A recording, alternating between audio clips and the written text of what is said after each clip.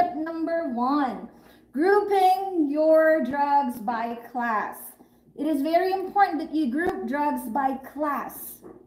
Why? If you group them by class, you actually group them by the organs or the systems that they affect. And in doing so, you know what the drug does. Let me explain further. So in the PTCE or in the EXCPT, you will be asked questions as what is the class of the drug? Okay. And students ask me, Miss L, do we have to remember the pharmacological class or the therapeutic class? I say both. Because when PTCE asks you on your test, what is the class of the drug, they're not being very specific whether it's pharmacological class or therapeutic class. So this is how I differentiate the two. This is what I tell my students. When you say pharmacological class, it's something that you can't pronounce.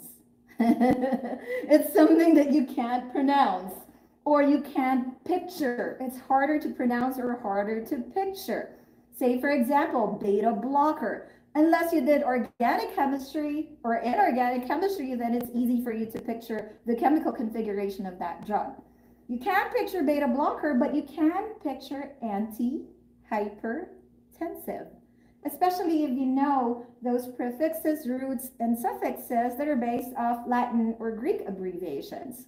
So a therapeutic class will be anti-hypertensive.